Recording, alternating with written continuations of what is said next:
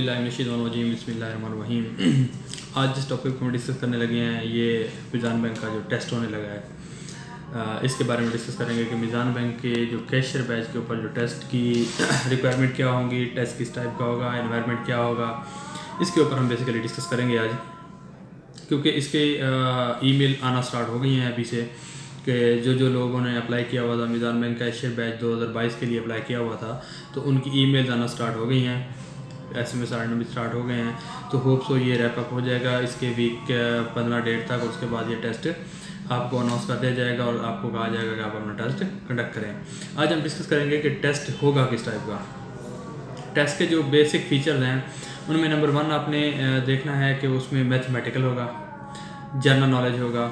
Mathematical में होगा कि जैसे क्वेश्चन होते हैं फार्मूले होते हैं इंटरेस्ट बेस फार्मूले होते हैं कंपाउंड का फार्मूला होता है, इस तरह के फार्मूले आपसे पूछे जाएँगे। दूसरा आपसे पूछा जाएगा जनरल नॉलेज के बारे में कुछ चार पाँच क्वेश्चन होंगे, दस क्वेश्चन कर लें। जनरल नॉलेज के क्वेश्चन होंगे कि पाकिस्तान के रिलेटेड भी हो सकते हैं, पाकिस्तान से बाहर से भी हो सकती हैं।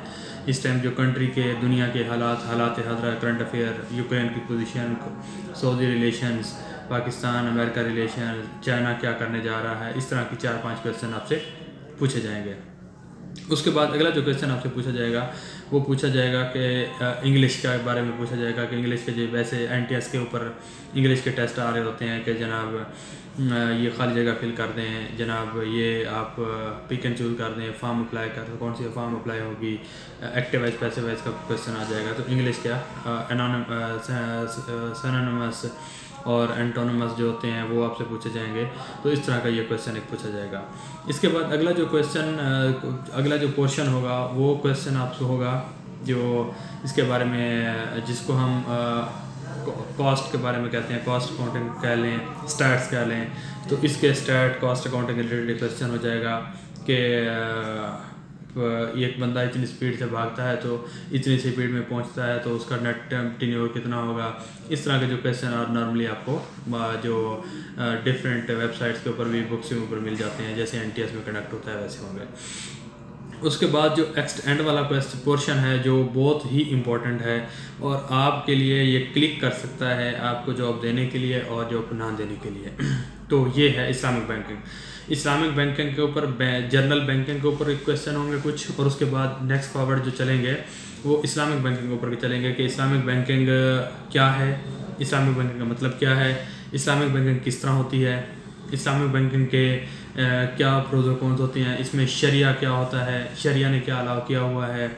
इस्लामिक बैंकिंग में प्रोडक्ट किस टाइप के हो सकते हैं? मुदारबा, मुशारका मुसावमा इसको आपने देख के जाना है टेस्ट में।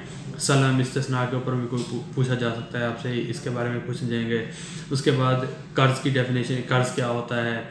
इसके बाद पूछा जाएगा कि मिज़ान बैंक का जो शरिया बोर्ड है, इसका कोई कोई बोर्ड टाइप भी होता है या नहीं होता? इसका गवर्नेंस फ्रेमवर्क पूछा जाएगा। या कन्वेंशनल बैंकिंग और इस्लामिक बैंकिंग का कोई डिफरेंट पूछ लेंगे आपसे। तो इस तरह के आपसे क्वेश्चन पूछे जाएँगे कि आप सूद कहाँ पे हराम है? सूद की ममानत कहाँ कहाँ आई है? सूद क्या होता है?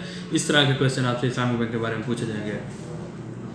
आपने कोशिश करनी है कि अपना जितना भी टाइम आपने लगाना है, वो जो दूसरे क्वेश्चन हैं, उनमें आपने अपना मिनिमम टाइम कंज्यूम करके अपने इस्लामिक बैंकिंग के ऊपर टाइम देना है। इसमें कुछ बातों का ये भी कर देते हैं कि आप उसके ऊपर दो दो तीन तीन लाइनों के वो भी लिखें जनाब मतलब डेफिनेशन टाइप भी लिखें, उसके ऊपर कोई जस्टिफिकेशन टाइप भी लिखें।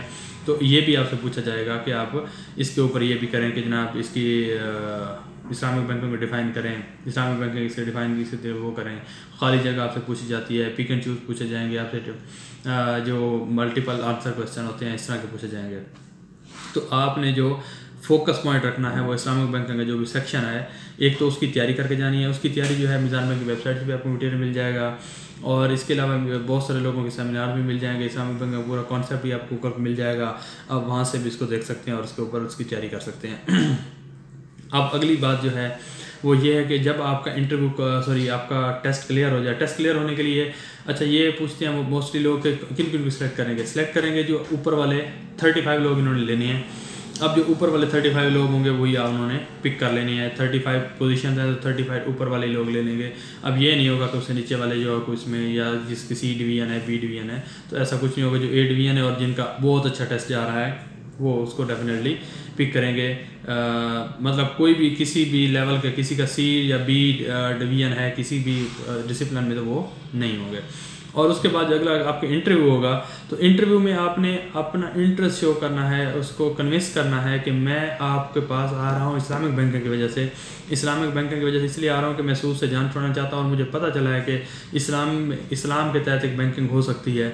अगर आप ये पॉइंट कह देते तो आप इंटरव्यू में सेलेक्ट हो सकते हैं। जजाकल्ला खैर